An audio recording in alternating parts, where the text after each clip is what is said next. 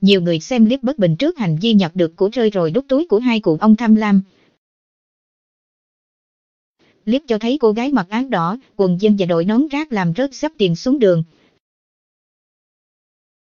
Bất chấp phía sau có ô tô, hai cụ ông lao tới chạy ra tranh nhặt tiền. Thậm chí ông lão mặc áo khoác xám còn tranh nhặt tiền với cô gái làm rơi. Sau đó, hai lão già tham lam bỏ tiền vào túi rồi lập cập rời đi. Một phụ nữ tốt bụng dừng xe máy chỉ cho cô gái chỗ nhặt lại tiền.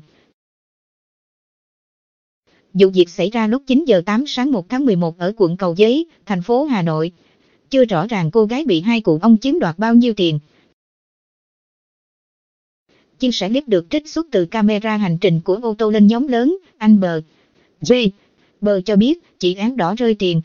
Chưa kịp nhặt hết thì bị hai ông xe ôm ra hôi của an và hỏi các thành viên rằng, hành động này có phải ăn cướp không? Dân mạng chỉ trích hai ông lão nhặt tiền của cô gái. Theo một số người, hai cụ ông này tội ác công nhiên chiếm đoạt tài sản của người khác. Nếu số tiền nhặt được dưới 2 triệu đồng thì hai người có thể bị phạt hành chính từ 1 đồng đến 2 triệu đồng theo khoảng 1 điều 15 Nghị định 167 chi 2013 Nghị định.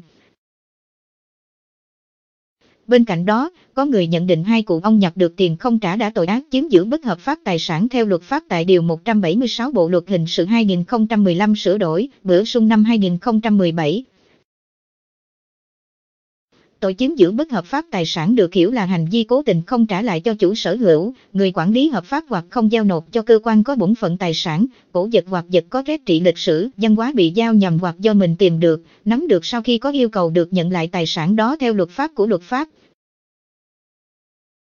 Trong đó, người nhặt tài sản buộc phải biết tài sản đó không phải của mình mà cố tình không trả lại cho chủ sở hữu hoặc không giao nộp cho cơ quan có bổn phận và bán cho người khác là đã có hành vi chiếm giữ bất hợp pháp tài sản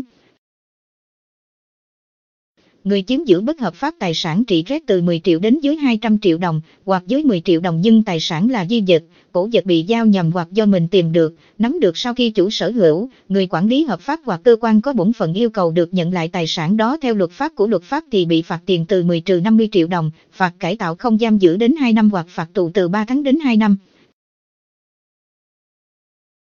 Nếu tội ác chiếm giữ tài sản trị rét 200 triệu đồng trở lên hoặc báo vật đất nước thì bị phạt tù từ 1 trừ 5 năm.